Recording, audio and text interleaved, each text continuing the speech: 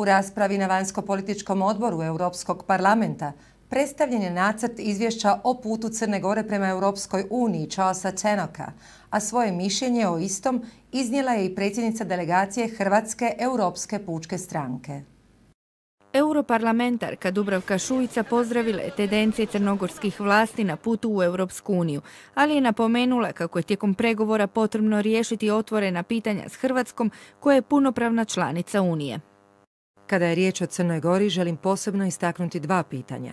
U ruci držim pismo društva logoraša srpskih i crnogorskih koncentracijskih logora i apeliram na adekvatno i pravično obeštećenje hrvatskih logoraša koncentracijskih logora u Crnoj Gori, koji su tamo mučeni prije samo 25 godina, što je za većinu članica Unije uopće teško shvatljivo. Europarlamentarci su suglasni kako je Crna Gora ostvarila veliki napredak te je od svih zemalja jugoistočne Europe najbliža Uniji, no naglasak je potrebno staviti na borbu protiv korupcije, ali i reformu pravosuđa, istaknula je europarlamentarka.